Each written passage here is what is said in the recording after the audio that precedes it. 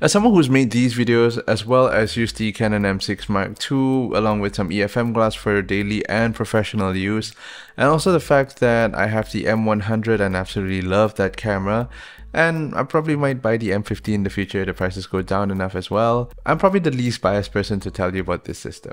Obviously, that was a joke. I do love the EFM system and I'm absolutely biased towards it.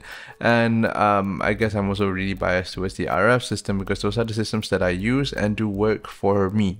And I think this the reality is that everyone's got their own bias uh, regardless of what they say. Point is, I do have a bias towards the system because it does work for me. And after this video, you could decide whether it could possibly work for you as well. I've been using the EFM system since early 2021. I started off with this beaten up Canon M100 paired with the EFM 22mm f2 STM. And ever since, I've expanded it by getting the M6 Mark II, which I've made a ton of videos about, as well as getting a bunch of lenses such as the 55 to 200mm f4 to 5.6 IS STM, as well as the kit lens, the 15 to 45 f3.5 to 6.3 IS STM, and also getting the wonderful for 32mm f1.4 prime lens uh, STM as well. That will conclude the native mount lenses from Canon that I own on this system. Now, I do own a couple of TTArtisans EFM glass as well, namely the 17mm f1.4. This is a manual focus lens, as well as the 7.5mm f2 fisheye lens, which is also a manual focus lens. It's no secret that Canon has stopped making cameras and lenses for this mount.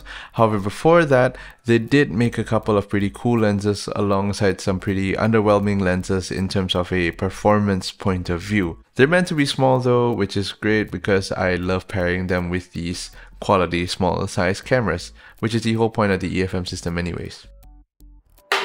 Throughout the entire life cycle of the EFM mount, Canon has only made 8 lenses for it. These might seem like some limiting choices, and you are right, but here's where the third-party companies come in and save the day.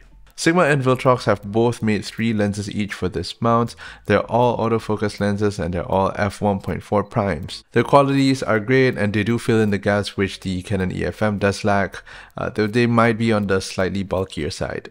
Companies like TTArtisans as well as 7 Artisans have made lenses for this mount and they are really good quality, really cheap, really tiny, but they are all manual focus lenses. Another great thing about the EFM mount is the fact that it is a mirrorless camera mount, so your opportunities for adapting older lenses is vast. And the fact that it is a Canon manufactured mount, you also get the opportunity to adapt from probably the most developed lens system ever, which is the EF and EFS system, and get native performance. And lastly, obviously you get to adapt uh, vintage SLR lenses as well, such as the Canon EFD, FL lens, and much more. It doesn't matter about the brand. As long as they have the correct flange distance, you're good to go. Safe to say you're presented with a multitude of options which could lead you to endless possibilities. Obviously with the discontinuation of this mount, the prices of these gears have been going down significantly, especially in the used market. Here's the important question though, is it worth buying into a discontinued mount even if the prices are lower than usual? The answer is simple, you obviously don't want to buy into a dead camera mount because obviously after the mount is discontinued, the camera stops working. On a serious note, there are some pros and cons into buying into the system at the moment. The prices are ridiculous for a bunch of these cameras and lenses which do work well and have a good size but they will never get another update. So if you're hoping one day you could use your camera as a vacuum cleaner, I'm sorry but you will never get that firmware update. Here's a list of all the EFM cameras and what I would generally recommend spec-wise. Obviously, do your own research after narrowing it down. If you're planning on using autofocus for any of these cameras and would prefer to achieve focus within the century, these cameras do not have dual pixel autofocus, so I would get rid of these choices immediately. If you're looking for 4K video, then get rid of these choices. And if you're looking for 4K video with 125 fps with no crop, you're left with this camera. But if you're looking for a camera that can do all of these things without overheating, look elsewhere. By the way, the OG Canon EOS M camera has like this cult following uh, because it has like this Magic Lantern support which allows it to do like this crazy raw recording but with a workflow that I can't even pretend to understand. So if you're interested in that, go look it up. This seems like a pretty straightforward answer, but before that, let me just show you this. Images, size, weight, and price.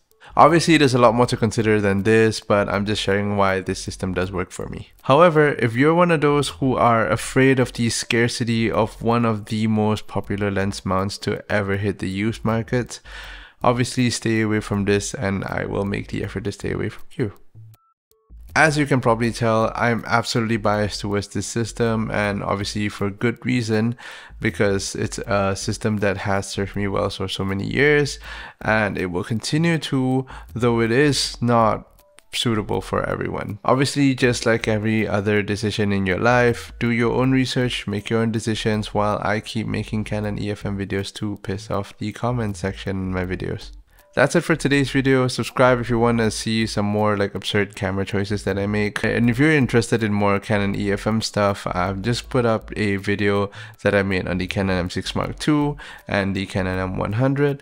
And I've just placed a playlist um, of all the Canon EFM videos that I have made. Like if you like the video, comment if you want to tell me more absurd camera choices that you make, and check out my Instagram if you have not. All links are all in the description, and I hope you have a good day. Goodbye.